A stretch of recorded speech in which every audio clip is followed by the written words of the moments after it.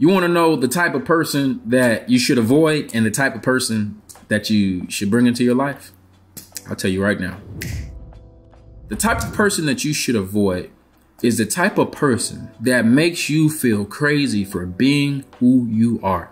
Now, look, some of you might be crazy, and that's okay. I'm probably a psychopath. I'm probably crazy myself, right? That's okay. If people go out of their way to make you feel crazy, that's different. That requires a lot of energy to make someone feel crazy, to intentionally make someone feel crazy, to go out of your way. Okay, I'm gonna, I'm gonna leave this comment, or I'm gonna tweet this, or I'm gonna make this call, or I'm gonna send this text, or I'm just gonna stand in front of this person when they're trying to get the ice cream. I, am just gonna stand here. I see you trying to get ice cream. I'm just gonna stand right in front of you. I'm not saying I went through that because I don't even eat ice cream.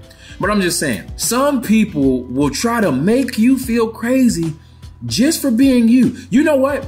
When I'm doing crazy stuff, make me feel crazy then because then it's valid, right? I'm acting crazy or I have crazy beliefs. Make me crazy then. But when I'm doing something that's just basic or in the normal realm of living, and you try to make me feel crazy for that, that, my friends, is a person that we have to avoid. And you said, oh, well, Sylvester, okay, we'll avoid that person.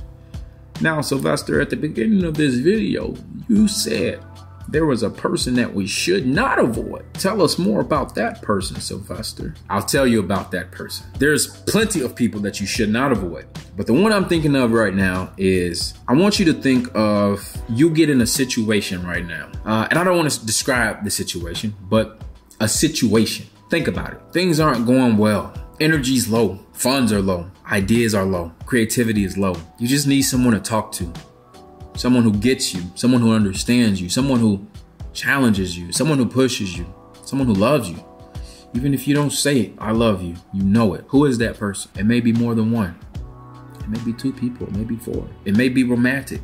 It may not be. But who is that person? That's the person that you need to spend more time with. That's the person that you need to call after you see this video. That's the person that, you know, we don't write letters anymore because we're the generation of weak ass text messages. That's the person you need to write a letter to. You know, you let all these people in your life, but that person is the person who needs to be in your life. You know what to do. Free your energy.